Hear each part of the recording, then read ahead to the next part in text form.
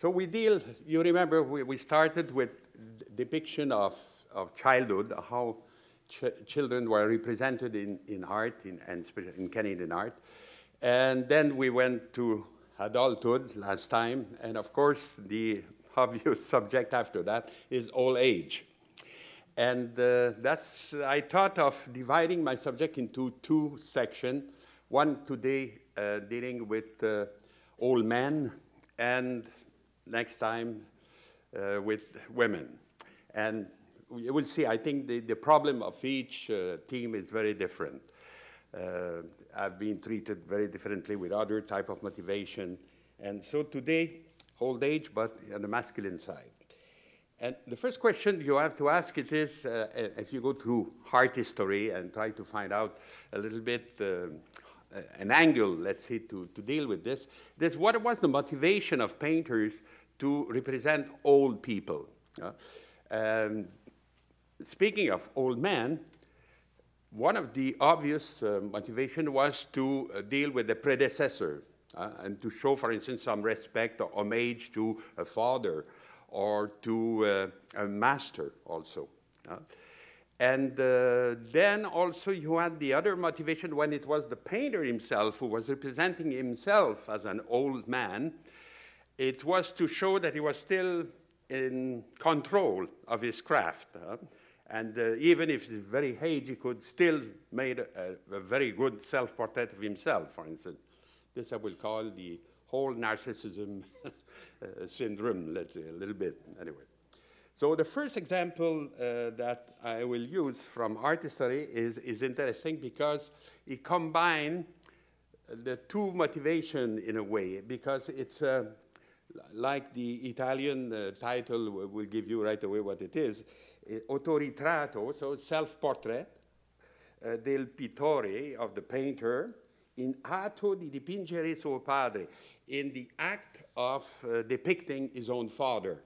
Uh, so then you see the, uh, younger man there is, is a painter painting his father. And it happens also that the father of this Luca Cambiaso was also his master. So then in this picture, you could say, well, he gave homage to both, to, to the father and also to his teacher. Uh, and that's probably why the brush of the painter touches lips, because if he's a teacher, he used words, and uh, so he could, he could stress that way, let's say that he was also his teacher. But since the similarity between the two guys is so amazing, is so amazing, that he creates a kind of strange double self-portrait in a way. Huh? It's him, but it looks also him as he, as he will look when he will be uh, older. You know? And it creates, of course, a, a, feeling of the passage of time between the two portraits, if you want. The drawing I put on, on the right, it is uh, just to give you an idea of who was this Luca Cambiaso. He was not the most famous of painter, I guess. Uh, he was famous in Genoa, in the 16th century, uh, getting a lot of contract and things.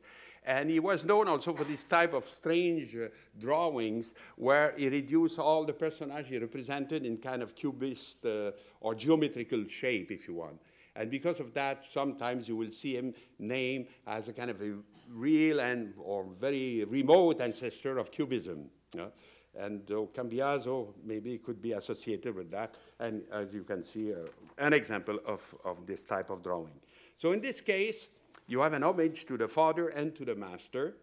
And another example, I says also, another motivation, let's say, was for a, a, famous painter like Tiziano, for instance, in this case, to represent himself as an old man and to show to his uh, uh, possible, uh, let's say, uh, uh, patrons that he was still in good shape, he was still able to make a, a rather powerful type of portrait and uh, of himself.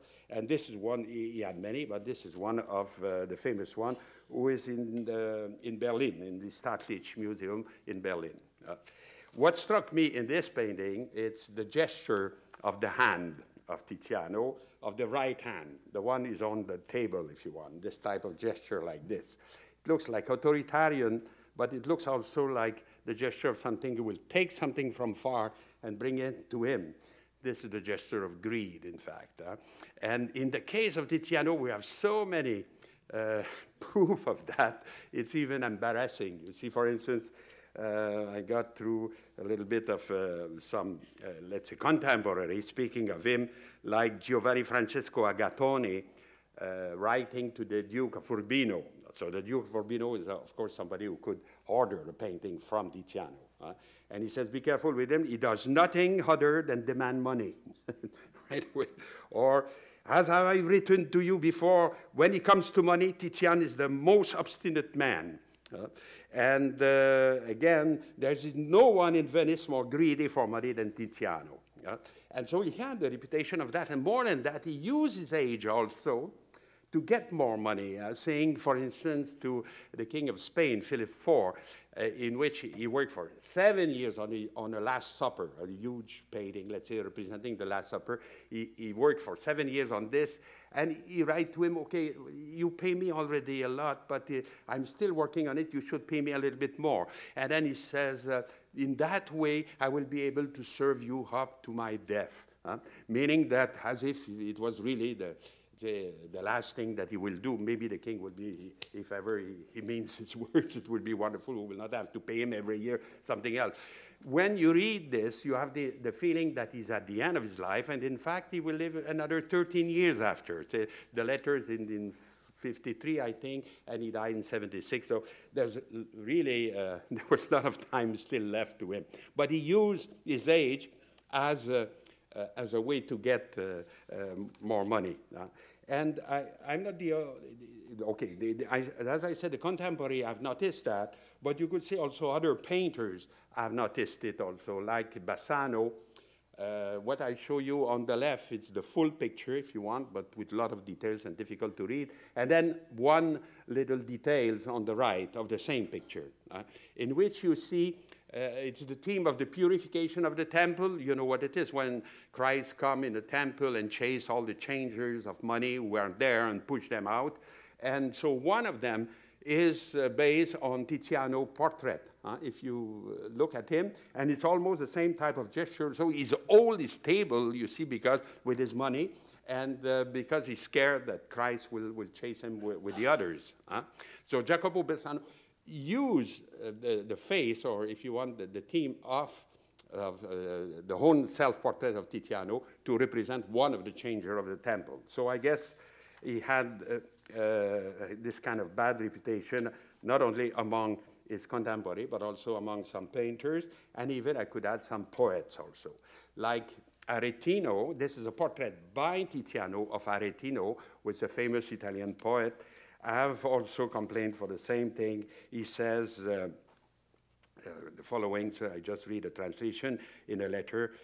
Said, the not small sum of money that Tiziano received and the even greater greed for more is why he gave no heed to the obligation he should have for a friend, nor to the duty proper to his family, but, is, but eagerly awaits with a strange intensity only that which promised great things the things that promise great things is, of course, money. Uh, and uh, he says, my painting would have been better, my portrait would have been better if I had paid more, but I refused, it was enough. And, and so if you look at the vestment, it seems a little bit more sketchy uh, than the face itself. So what he means, that he, uh, Tiziano didn't finish the painting because he was not paid properly. Uh. so this, uh, so you, you see uh, very often in self-portrait you have this kind of uh, unconscious revelation of, of certain aspect of the painter. Uh, and, and then, okay, certainly the intention of Tiziano was to show that he's still in power, he's still in control of his, of his uh, craft, of his uh, knowledge of painting, but also he, he suggested something else, like you, we could, uh, we, we could uh, substantiate by others, uh, by the documents I show you and by the painting I showed you too. What about, so Canadian artists uh, uh, having the same type of motivation? Let's say you have a famous uh, portrait of Plamondon, Antoine Plamondon, a self-portrait that he made apparently toward the end of his life. And uh, it was presented recently, well, in 205, 206 at the Musée du Québec. They make a, a nice uh, presentation of a Plamondon oeuvre. And they reveal at the time that this painting was based on a photograph by Livernois. Uh, Livernois was a photographer of, of Quebec, very, um, it was a family, in fact, there were many, but let's say uh, uh, this one, uh, the uh, Jules Etienne, uh, Livernois, did a photo of Plamondon, and Plamondon wrote on it his name and his age, 71 years old. and in fact, he gave, he, he aged himself a little bit. He, he, was one year less than that when the photo was taken. Yeah? And uh, so the, the, idea was to uh, probably to present himself as a younger man than he was to show that even at 71 or 72, he looks still good. Uh, that was more or less the, this idea. When I speak of old Narcissus, Narcissus you have another aspect of this. And so he used then this photo to make the, the self-portrait that you have on the left, and in which he wrote on it, uh, Plamondon, 82 ans, uh, 82 years old. So then he, he aged himself even more. In fact, when he painted that, he was 78, and uh, so he gave himself four more years. And not only he used the photo, but I would say he gave him he give himself a better look. Huh? He's less, uh, his, his beard is more trim and more neat. Uh, he's dressed with a kind of mantle instead of this bad uh, jacket that he have on the photo. Uh, the steely high uh, eyes of, of Plamondon were, were, very famous. You see, he, he had this uh, kind of very difficult type of gaze, if you want. People who were posing for them were, were, impressed by this. You remember he made the portrait of these nuns who are all looking down, you know, not trying to face, being afraid to face him. So, um, but in the, in the portrait of, uh, on the left there, it seems more uh, amiable. You know, you have blue eyes instead of these steely gray eyes that we see in other portraits and also in, in, in other photographs. The only uh, new detail there was strange. It is this kind of palette and, and, brushes that you see on the foreground that seems to float huh, in midair like this. They are not really on the table. They are uh, situated like this in somewhere. And what uh, Plamondon wanted to suggest that he is no more active as a painter in a way. Maybe that I don't trust him completely on this because he, he to show him younger than he is. So maybe being able to be still active, if you want. But on the other hand, he wants to show himself as an old man, very wise now, and having uh, had a brilliant career behind him, so he could uh, be seen without hands at first, and with his brush, brushes and palette uh, in midair, like doing nothing, but with the color uh, well situated on it, ready to be used, in fact. Huh? And uh, indeed, three years after that, the painting. He's still living, and he published this little ad in the uh, Le Courrier du Canada, was a kind of a newspaper of the time, in uh, 1885, in which he says Le grand âge ayant obligé le sous-signé à déposer le crayon et le pinceau, son atelier est à vendre. Hein? Alors, being very old, my studio is for sale now, and uh, I have a lot of things to, to uh, uh, les plafonds de Versailles, etc. He have engravings that he want to sell, and also, of course, eventually, maybe his painting, this last one, that he have in his studio. Yeah. And uh, the, uh, again, the, this is the same idea, of course, of uh, showing himself as being uh, retiring, let's say, from painting. The one aspect of, if you go back to the, uh, no, wait, if you go back to the portrait, the one on the left, one aspect that he could not hide, because even if he wanted to, to show himself as younger than he was, was his wrinkles. Uh, and this will be my first theme about old age. When men are represented as old people, they will have uh, the, the, only the, the, things that you have to look at. I would say it's always how the wrinkles are expressed and, and what is the, type of meaning that we want to put behind that. There's that, and also there's certain gesture you will see that are very often associated also with representation of old men. But this, I, I will come later to that. The wrinkle thing is very strange because it was, for a, for a long period, a fascination among people, I would say, of the same nature than chiromancy. Uh, you know what chiromancy is? The, the art of reading the lines in the, in the hand. Uh? And uh, for the, with the same type of, uh, of, I would say, pseudoscience, because of course, uh, how can you know through the line of, uh, of, of, the hand that uh, what will be your future and your fate and all that. With the same type of fascination, you had a, a pseudoscience who was called metoposcopy, uh, in which wizard will, will, tell you from your wrinkles the, uh, what is your future, what is your, uh, your destiny. that's probably why women try to erase their wrinkles as much as possible to keep the secret. And I don't know. But men are, are naive on this. They, they go with their wrinkles and they, and they get this type of, uh, of uh, treatment, let's say. I will show you a little bit what it is. Metoposcopy, you have the word there, come from metope uh, in Greek. And metope in Greek is a part of, a, of um, let's say, of an architecture. Uh, this is, a, uh, imagine the Parthenon, for instance, the, with the, the, kind of triangle uh, shape on the top, and then you have the column, but in between you have a section there. Where is the metope? The metope will be the square uh, piece that you have there that sometimes are uh, illustrated with sculpture like you, you have on, on, on the right. Huh? And um, so from this word, who means something like forehead or, or something, uh, part of a facade, if you want, if you speak of architecture, they have created this word metoposcopy of uh, this pseudoscience in which people were able to predict the future.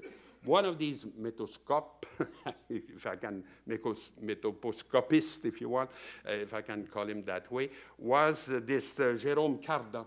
And he published books like this, uh, there's 16 volume of that, with figure, in which you have different type of wrinkles, let's say, and under it, in Latin, he wrote what will happen to a person who have this type of wrinkles and the other. Uh, for instance, I could read you uh, what uh, is written just below the one on the top in the left, uh, just to give you an example of the type of uh, bizarre uh, remarks that he make. Uh, where is it? It's here. Uh, in which he says, okay, in Latin, cum linea Saturnini. So each line is associated also to a planet. Uh, so there's a line of Saturn, let's see. Alors, il says, cum linea Saturni intersecando linea Jovis. Alors, the one line, he says, in this case of this girl on the top there, she have one line from Saturn uh, in, with intersection with the line of uh, Jovis, Jupiter, of course, and Martis, and of Mars, uh, descended at locum lunae, alors descending to the uh, place of the moon. So she have in her face all the astrology that you can imagine already. And he says, and sic conjungito cumea, and then being uh, all together uh, at the same place, if you want, denotat infamam vitam. He says, when you have this type of combination of wrinkles, this is a bad girl. Infamam vitam, it's not good. Uh, it's an infamous life, if you want, but in, in the sense that um, morally infamous. Uh, and she says, periculum amitendi oculum sinistrum. Yeah, she is um, very, uh, it, her life is dangerous because the, the, the left eye, again, we see the bad eyes, huh? le mauvais œil, like we say in French also. The, the bad eyes look at her and uh, it, could, uh, it could mean that she, she, she will be in trouble. And he conclude, vel cadendi ablato in aquam, she could even fall in water. Huh? So, uh, so it's fantastic. You go, you go to one of these guys and you, you just look at your wrinkles and he, he predict to you what will happen, how you will die, how you will fall in water and things like that. And it goes on and on like this for there's 16 volume and 800 picture, 800 little vignettes like that with different type of things. So it was really like a, a kind of uh, pseudoscience, I would say, a little bit like chiromancy. Huh? And uh, it was forbidden by the church also because you are not supposed to know the future. Uh, only God knows. And so they were doing that uh, secretly. And Cardan himself, the book was published after his death. And uh, there was a kind of secrecy around this. but uh, it, it, it, it shows a kind of a, a, a, kind of interest in this aspect of the human face, let's say, that have been, of course, almost forgotten today. Mind you, I went to, to the internet, because it's always fun to do, with metoposcopy, and I got uh, people who believe in that still today. Uh, and they, they offer you uh, for a modic sum, uh, for, for a little bit of money, uh, to tell you also your future. And even some of, some of this uh, fantastic person was good also to predict your future through the look at the moles or the spot of, do you say that, spot of beauty? A beauty spot, les, grains de beauté, we said in French. And and this again, you have chart like this in which they give you all the possibility. Let's say this poor guy, of course, is finished. He, he's certainly dead already, but, but then uh, all the possibility with little numbers. And then again, uh, this done by uh, an English uh, uh, metoposcope, if you want, a scopist, Saunders, and physiognomy and chiromancy and metoposcopy. It's really all the, the, the science of the time. Huh? And uh, so again, uh, this, the, so th there is a fascination, I would say, pseudo-scientific of this, and it's not astonishing also that artists will be tempted to, uh, to go in that direction or to try to do this uh, in their way. I, am not, I will not dare to go as far as going back to the portrait of Plamondon and trying to find what was his future according to metoposcopy. But it could be a nice exercise to do to try to see uh, what, what, what could be done with that. The, uh, if you look at other type of example of representation of old age, uh, if you go back in the history of the sculpture in Quebec, especially, uh, of this old uh, religious culture that we, we used to have here in, our, in the churches in, in Quebec, uh, you have very often this theme here of the God the Father. Uh, and habitually, they are situated on the top of the altar. Uh, you have the main altar, you have a kind of a, a sculpture on the top, and then very much close to the ceiling, you will have this representation of God the Father floating in midair like this as if he was uh, watching what's happening downstairs uh, the, in, in, a lower uh, area. Uh. and this, we don't know who was the sculptor of this, but he was a wonderful sculptor. It's a, it's a beautiful piece. And, uh, and again, if you look at his forehead, of course, God the Father have wrinkles, and I guess all of them are good. They're not supposed to be, he will not fall in water, probably, no. Uh, another example I wanted to comment a little bit also, uh, because again, it's a kind of iconographic theme that is a little bit complex. It is this uh, old pulpit, I think, or chair, if you want, that was in the uh, uh, church of Baie Saint Paul. Today you have a new church in Baie Saint Paul, but before you have an old church there where this sculpture was. And now it's in the Musée uh, National des Beaux-Arts du Québec, enfin, it's in Quebec, but uh, it has been there for a long time. And then one, uh, at a certain moment, also it was given to another parish, Saint-Urbain, and then finally it was divided in pieces and sold to many collectors. And it's only recently that the museum have succeeded to uh, get all the pieces together. For instance, the panel was on the wall behind uh, was separated from the kind of uh, what we call a cuve or a vat, if you want, a kind of tank in which the priests come to, to, uh, to preach the field. And also the sculpture that you have on the side here, one here and one there, uh, were removed from there and were sold individually. Huh? Uh, this is not astonishing, but is what is astonishing that everything came back together at the museum.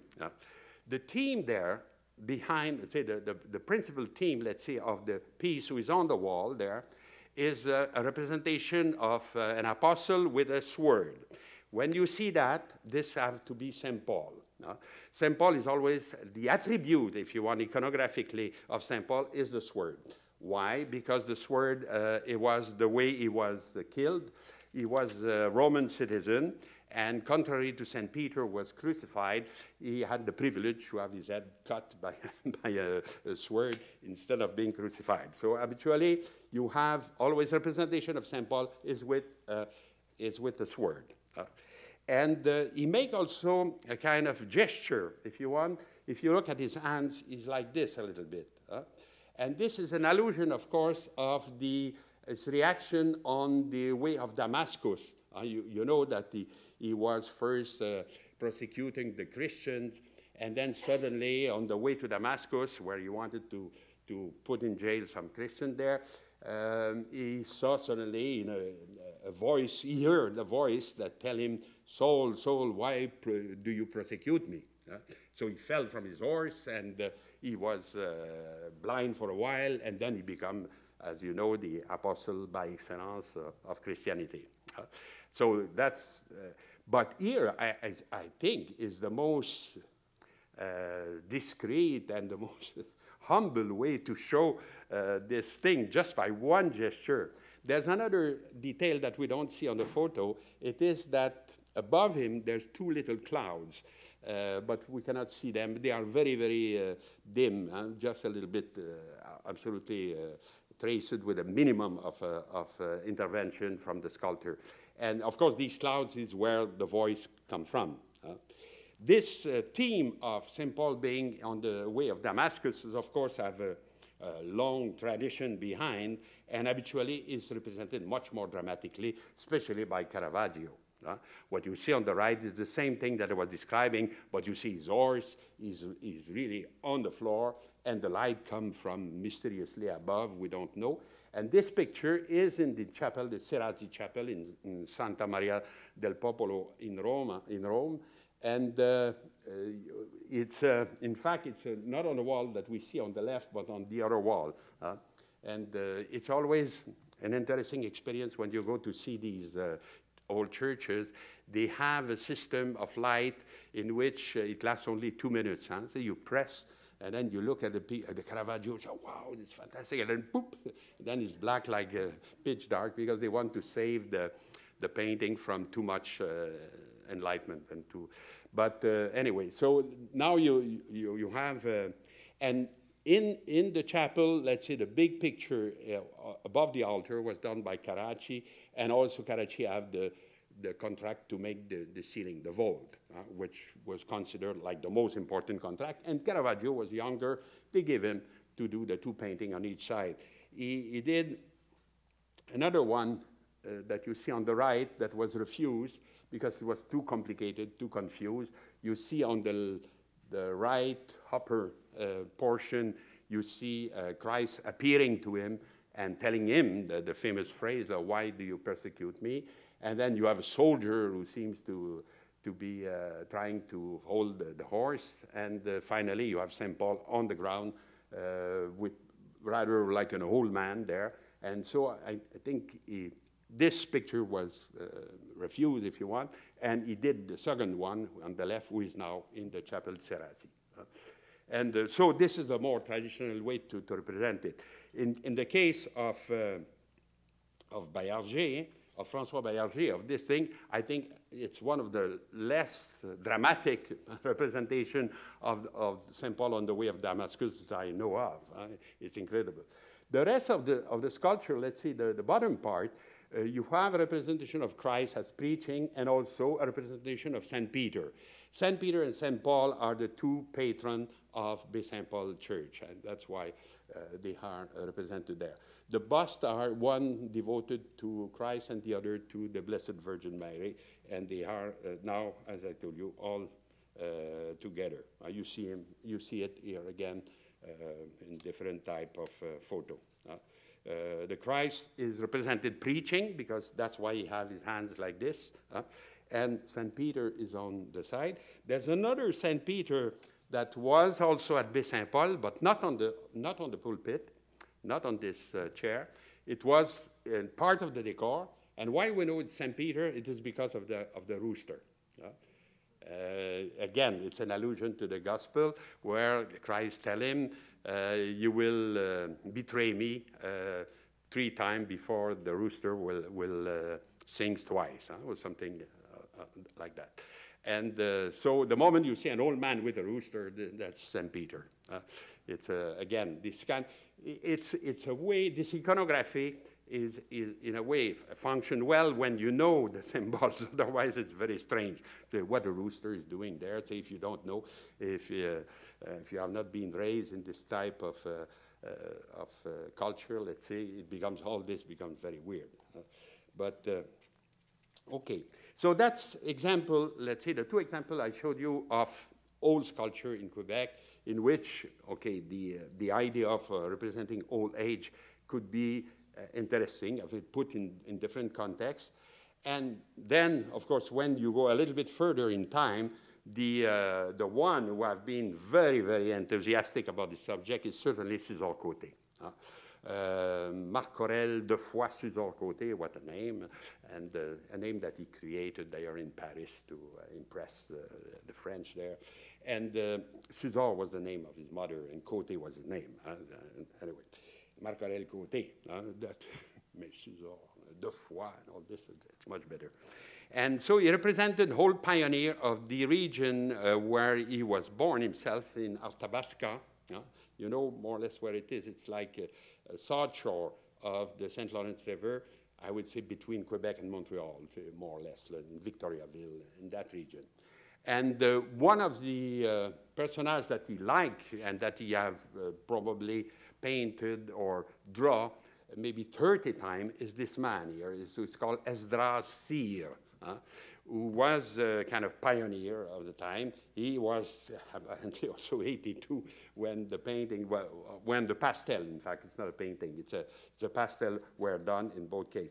In one, on the left, you show him in his kind of uh, well-dressed, like for Sunday, let's say for, for going to Mass and in the other, on profile, uh, he, he, is with uh, working type of shirt, let's say with a chemise à carreaux like this, like typical of a, of a worker. And uh, the, the, the man was described at the time by some journalists who, who consulted uh, Suzor Côté and asked uh, who he was. And, and uh, I just want to read you a little bit a kind of description of, of the man, he says, uh, a, a journalist says, he was really an old authentic pioneer with a noticeable physiognomy. Suzor Côté painted him from all angles. Any museum of some consequence, both in Canada and in the United States, possesses one of his portraits. I made a lot of money with this old man, used to say Suzor Côté. Uh, his name was Esdras Cyr, but people used to call him Finette uh, because he was uh, uh, witty and, and having kind of uh, his way, which characterized him very well. He had a good sense of humor. His repartees were always fine and funny. With time, be, become quite fond of his model. The old man was telling us about the tough existence they had, their fight against the forests, and their misery when they came to settle in Saint Sophie d'Halifax. Well, this is the old name of uh, Arthabaska, this region having a sole belonging, their axes and their courage. So, the, uh, so that, that's uh, two portraits. I show you two more. Let's see, on one on the left, he, he, he gave his age, uh, 82, and the other is called what uh, a lost profile. That means that uh, you see the uh, the personage from the back in a way, uh, and just uh, in profile, but as if it's almost lost also. If he turns his head a little bit more, you will not see him at all. And ag ag again, the, he looks stern, he looks not too, too easy to deal with, and apparently there was some negotiation because it's very nice to make the portrait of these old guys, but you have to pay them. Because during that time, they do nothing. So they, they were negotiating about. And uh, we were told a little anecdote about this in which I will read that in, in Joual because I don't think it's easy to translate in, in English. He said, c'est pas juste, Monsieur Côté. Vous me donnez 30 sous puis un paquet de tabac pour faire mon portrait et il paraît que vous vendez ça 2 à 300 piastres. Il faut me payer plus. okay. Mostly, what, in short, what he says, he says, I heard that you sell my portrait for two, uh, $300 and you pay me only 50 cents or something like that and you give me a tobacco pouch. He says, you have to pay me more. And uh, so that's what it means by finette, you know, this type of uh, guy who could negotiate and, and even with Suzor Côté. And, and this, uh, so this is kind of certainly a colorful personage, and uh, he represents him many, like I said before, in many, many angles. And the problem that you have there, it is that the, the old age is also a time when I would say nature take over freedom. Uh, uh, you could say almost a, a, passage from spirit to thing in a certain way. I don't know if I dramatize it too much, but I would speak of a kind of uh, uh reification of the spirit with old age. Uh, and this is one of the obsession of Rembrandt, and that's why I show Rembrandt now in this context, because Rembrandt has painted himself so many times, so have seen himself, I said, from painting to painting, aging, and being like this more and more close to a thing and less and less than a spirit, if you want. But he was conscious enough of this type of dialectic, let's say, between the two, these two poles, to say, no, the spirit have to transcend the, the, uh, the failing of the body, if you want. Uh, and this is why, for instance, in this painting, in the back of him, uh, you have two big circles, uh, probably a kind of uh, sketch for a, um, a, a world chart uh, with, with, the two hemispheres. but it's reduced just to two circles. It's painted at a time when people were beginning to say about his, his uh, talent and all that, that he was losing ground, that he was less good than before, things like that. But the fact that he could draw like this two perfect circle behind him show still a certain uh, mastery of his craft. Huh? Again, it is a way to say, no, even if I'm aging, even I see from one painting to the other this kind of uh, uh, overcoming of, uh, I would say, uh, the, the, the thing to, on the spirit, I'm still trying to transcend that and I'm still able to paint this, this perfect circle. And also it's an allusion, of course, to the so-called Giotto circle. Uh, you know, the legend that told by Vasari that uh, some people coming from the Pope and asking him to give uh, to the Pope some example of his talent, Giotto just traces a circle on, on a piece of paper and says, give it to the Pope this, and he will understand that I'm, I'm a very good painter. And of course, the messengers thought he was laughing at him and all that. So it's, it's also eventually an allusion to this Giotto circle things. But, but the main idea is this. It is that you have uh, how, when you represent, let's say, old age, you can also suggest a, a, a kind of spiritual value. Uh, and if you go back to the, uh, to the Suzor Côté uh, series on, on Esdras Cyr, you will see that, okay, this is the same idea also. He tried to show us something else than just an old man aging and disappearing, let's say, uh, will, will be, soon be uh, dead and, and will be uh, no more.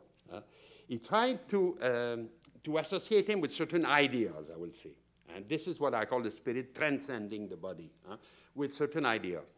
Uh, in the, uh, if, you, if you want, in, in, if you look at, at, philosophy and you think of what, what it is, this idea, well, for instance, Plato will defend that ideas are closer to the soul. Uh, and if you can express some idea like the good, the unity, the, the, the perfection, and things like that, you are closer to the soul.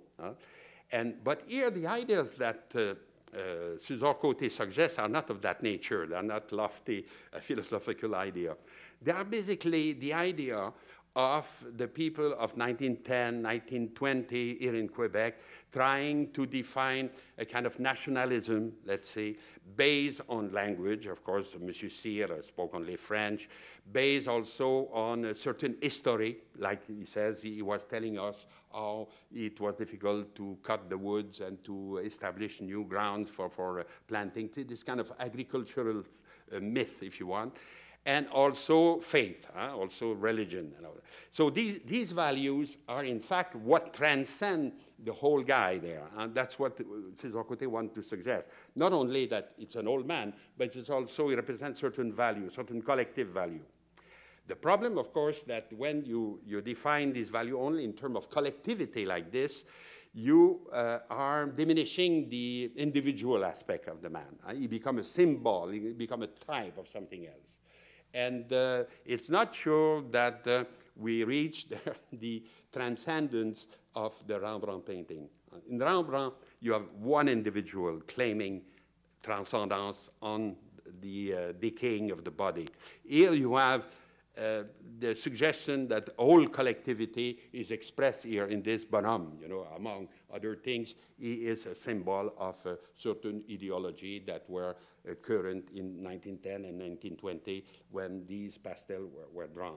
Uh, and, and in, in fact, uh, when you, you get this, the other representation of Esdras that you find in, in uh, in the work of Suzor Côté go in the same direction also. For instance, here it becomes the whole pioneer. Huh? So instead of calling him by his name, now he become a, a kind of symbol. He become a, a, figure of the whole pioneer. And also is now on the way to be in bronze. Huh? When you are an idea, this is always threatening you. You know, you became in bronze, you finish in bronze. Huh? If you became just uh, an idea or just something that stand for certain value, well, you could be suddenly transformed like this.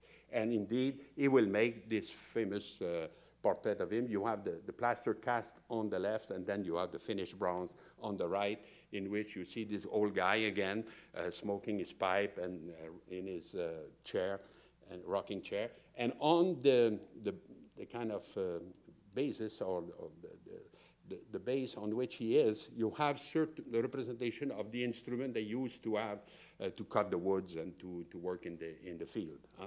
So uh, he's really like, like now become uh, transformed more and more in an, in an idea, I would say, and no more. And that's why also he's called just the old Canadian pioneer without any uh, specification of what he is and, and what was the model used here.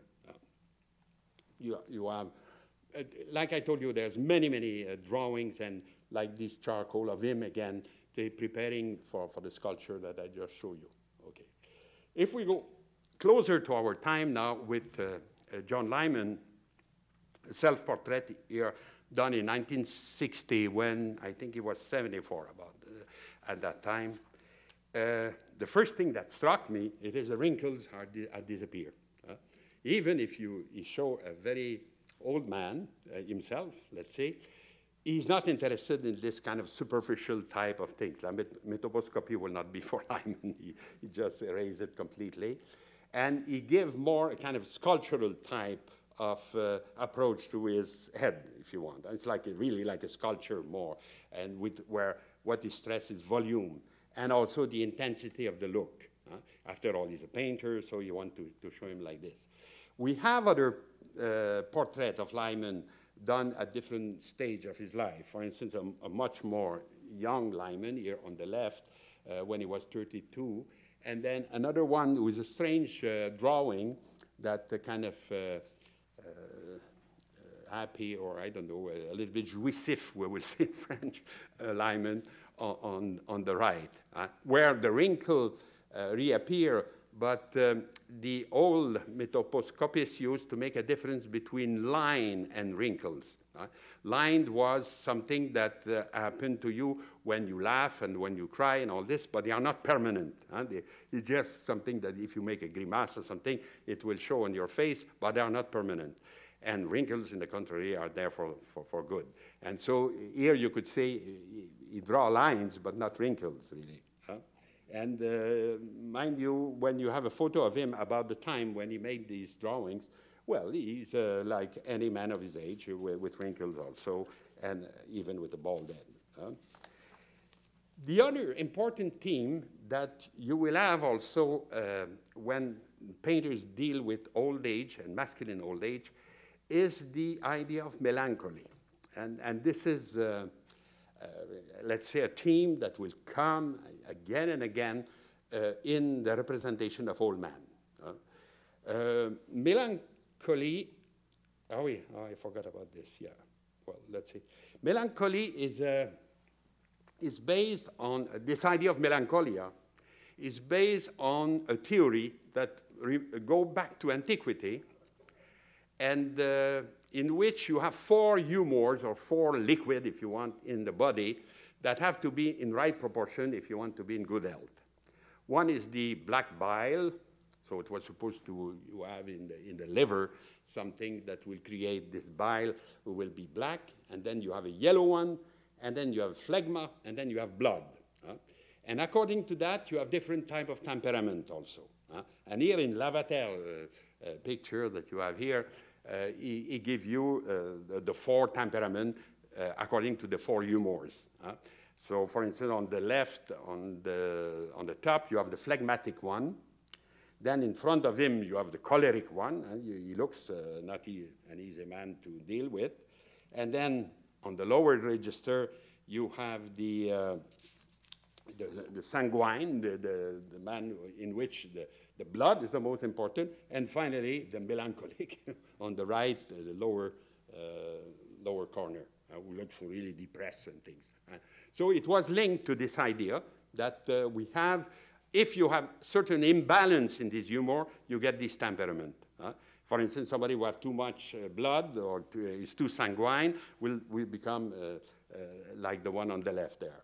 And if, in the contrary, it's the black bile that took over, and because melancholia, the word itself comes from the Greek. Melas means black, and cholia means bile. So it's really uh, uh, kind of old medicine, let's say, that went through, uh, was repeated, and many, many times after. So, for instance, even in this famous picture of Durer, representing the four ap apostles, if you want, you have St. John and St. Peter in the first one. Why it's St. Peter? Because of the key, of course. Uh, each time you see an old man with key, uh, it's St. Peter, and St. John is there with the, with the uh, red gown. So he is the one in which blood is more important, and St. Peter, who seems to be quiet and a little bit uh, more uh, gentle in the back, will be more phlegmatic, if you want. And then on the other panel, you have St. Mark in the, in the, in the back, who is the choleric one, who is the one with, uh, with wrath and then more, more uh,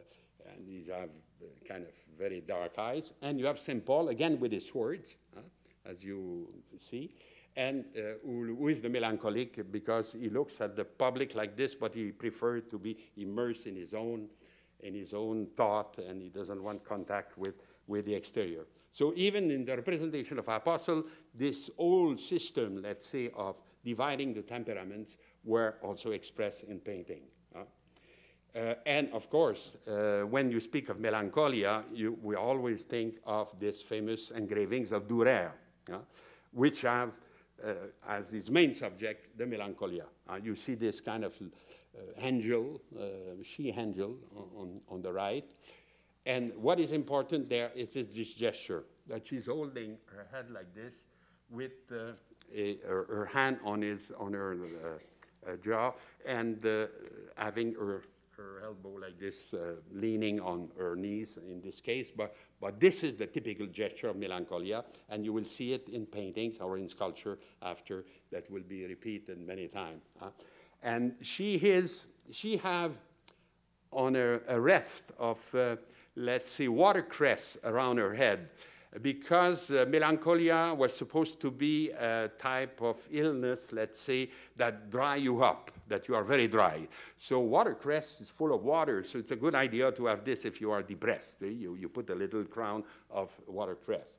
And then, but all the other symbol around her seems to be that she's uninterested in, in anything. Say you have a key, you have even her, her purse with money, uh, you have these poor dogs who are sleeping there with a thin like a, uh, like a rod, let's say, and, and, and you have, and she's circled by all these strange uh, geometric form, let's say, and she seems not to be able to relate to anything outside of her. And then you have this little putto or this little angel near her on uh, sitting there and seemingly writing something. And this have given a lot of trouble to interpretation.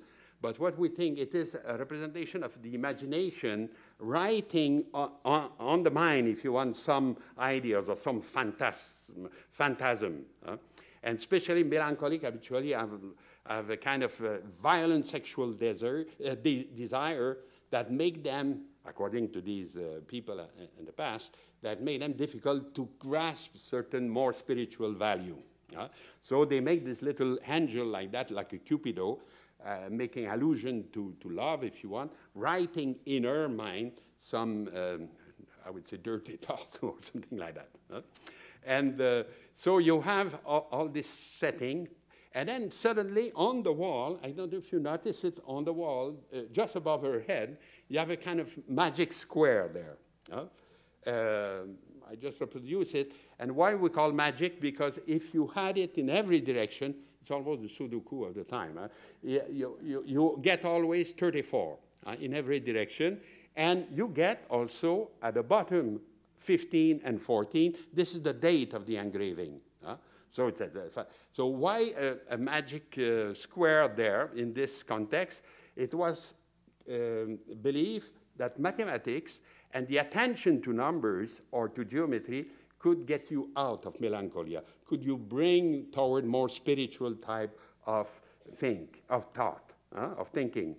And that's why it's there. Uh, it's in this context. And also, if you want, if you go back to it, you have all these, above all these symbols of death. In fact, it is bell, uh, this uh, kind of uh, hourglass also, and uh, this ladder goes to nowhere. All these symbols could be also of death. And finally, you have uh, an inscription where you read Melancholia 1, uh, and above it, a, a, bat that hold it like this.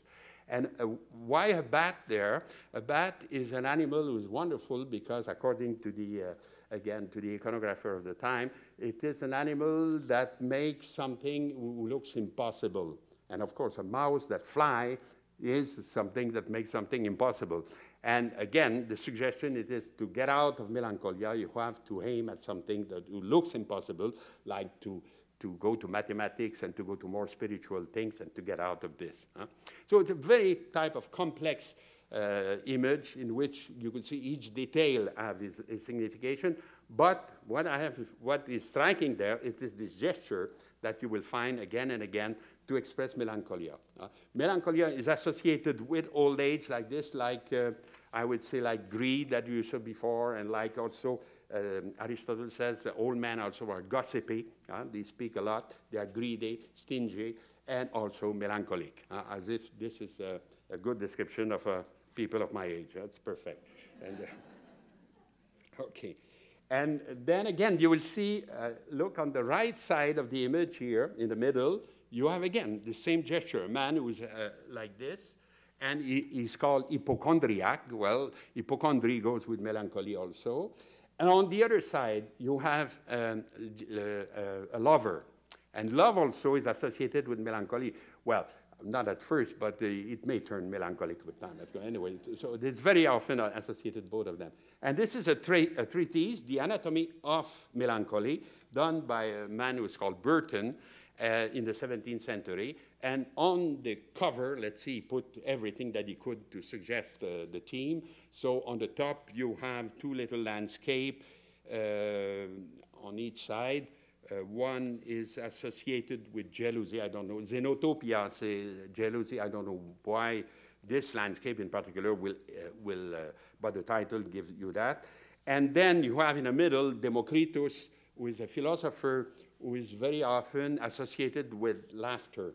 Uh, you have Heraclitus, who's always somber and I would say melancholic, but Democritus is very often uh, represented as laughing or as being happy and things. So again, he's like an anti uh, uh melancholic. And the author himself put a portrait of himself in the bottom uh, of, uh, on the lower register, if you want, and he called himself Democritus Junior, uh, as if he wants to get out of melancholy by writing about it.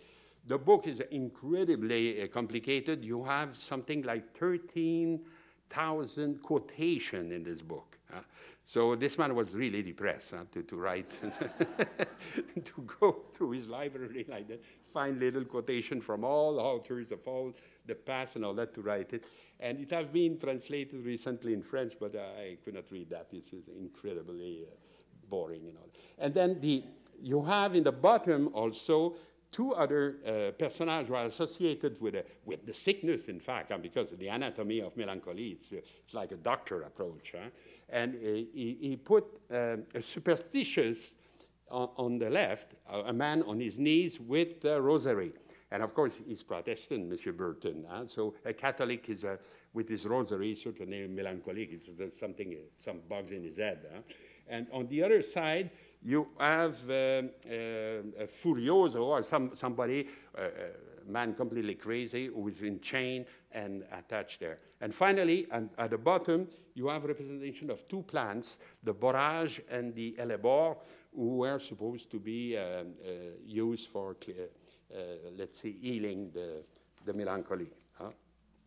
And so, so you have this kind of huge tradition uh, of this representation of melancholic people associated with old age. Uh. What happened now in, in uh, Canadian art, let's say we left the, the other gentleman there, I, I, uh, I tried to find an example of that, and then I find this one really weird a little bit. Uh. it's a portrait of Jacques Cartier, uh, the discoverer of Canada, done by a man who's called François Xavier Berlinguet. Uh, Berlinguet is a sculptor. He was a pupil of uh, Thomas Baillairgé. So uh, this is a great tradition, let's say, in Quebec sculpture. And he was also the master of uh, Jean-Baptiste Côté and, and, and Jobin and people like that. So he's in the, I would say, the very hand of 19th century, beginning of the 20th century. And he made this statue of uh, Cartier leaning on his hand like this, uh, with a white beard, as if he was already an old man, and with the kind of a little bit melancholic state. He wanted to have it on the top of the market in Quebec, huh? because there, there, was a market there established at the time, was called Le Marché Jacques Cartier. So he, he, so he did it, but the city refused to have his sculpture. They didn't like it, I don't know. And uh, so he put it on his own house. Huh? So for a long time, it was on the top of the house. And because it was to be seen from below and above, he, he put the head too big a little bit uh, because he thought, okay, people will look like this from, from uh, below, and I have to enlarge the head a little bit. And that's why probably he looks older than, than normally. And uh, then finally, it was uh, bought by many people, and it ended up in 1976 in the Museum of Quebec. In between having been restored in, in, in brackets in a horrible fashion, people repainted in and in different color and things. But the Berlinguet was certainly uh, taking his inspiration for a painting uh, from a painting by Hamel that I show you on the left, who himself copied a painting by this Francois Riss. Uh, and this is, in fact, the most, I would say, common image we have of Cartier. The only problem is these images the, uh, are from the 19th century and are based absolutely on no fact. Uh, they are completely imaginary, but they were powerful enough to, to be in all. I remember in my childhood, for instance, the, uh, the Histoire du Canada, and this was the portrait of Cartier we had there. You have even a stamp, I think, with, uh, with an engraving uh, uh uh, inspired by this. So, who was this Francois Riss? He was a French painter mostly unknown, but worked in Saint-Malo. Uh, and Saint-Malo, of course, was the place where Cartier was born. And because of that, they hire him to make a pseudo portrait of Cartier, imagine it. And then you see that the gesture here is not exactly a melancholic gesture. It's more something with meditative, huh, who holding his bear like this. Huh? And it's, it's who transformed it in a kind of melancholic sculpture by making him an old man instead of a relatively young one here, and having his kind of gesture much more pronounced, much more close to the, uh, the, the, stereotype, if you want, of, of melancholy. Uh, and here is one of the many, many engravings done after Riss, after Hamel, and uh, distributed in every context that you could imagine. Uh. So we change a little bit of this look. The, the problem it is that uh, it's what we call a faux portrait historique. Uh. It's like uh, it's done in 19th century at a moment when I would say the um, nationalist movement needed badly to have uh, an history. you know that in oh, Canada we speak in French, we say ton histoire est une épopée. Huh? And uh, I remember little kids uh, saying, ton histoire est une des pas. Huh? Your story is one of the not too bad one. and, um, and instead of a, a puppy. Uh, and, and then so the, the need to have a figuration of all these great men, let's say Champlain and all this, uh, I've created, the, the, need was there, and of course uh, these people were answering this need by creating this pseudo uh, uh, uh portrait. here, on the other hand, you have a much more closer to the stereotype of melancholy in this beautiful picture, again by Lyman, who is called the Arabic philosopher, in which he held his, his hand like this on his, uh, exactly like in the melancholic uh, uh, picture that I show you. And in the case of Lyman, of course, probably the uh, intermediary is not so much Dürer right away, but you could imagine also Van Gogh uh, in, in between. Uh, uh, Dürer, but in between, closer to him, Van Gogh. This is the, uh, one of the very last picture that Van Gogh painted. He will kill himself a few weeks after having painted that. It's a portrait of Dr. Gachet, the people, uh, the nice people who, who uh, took Van Gogh toward in Auvers in, in, at the end of his life, and uh, he, associated him, him with two uh, novel by Les Frères Goncourt that you see, uh, the yellow novel actually are modern art, uh, modern novels in, in Van Gogh picture, and with a plant with a foxglove in front of him, and then again the same type of gesture of uh, discouragement, of melancholia, if you want, associated with a, an old guy. And he says that uh, Gachet was very close to him uh, in his correspondence with his brother Theo. He says uh, because he felt the misery of modern life, of, of what we have around us. And I guess Lyman also, by quoting more or less this picture uh, in his own style, was also referring to the same type of idea. It's not very rejoicing, but this is, I think, uh, these two themes, uh, maybe there's others, but uh, that's what struck me, that you could speak about old age. And you will see when we will deal last, uh, next time with the representation of age uh, woman, uh, you will have a completely different type of context. because, first of all, the theme is rarer because of the male sexism of most of male painters. They, they, prefer to paint young women.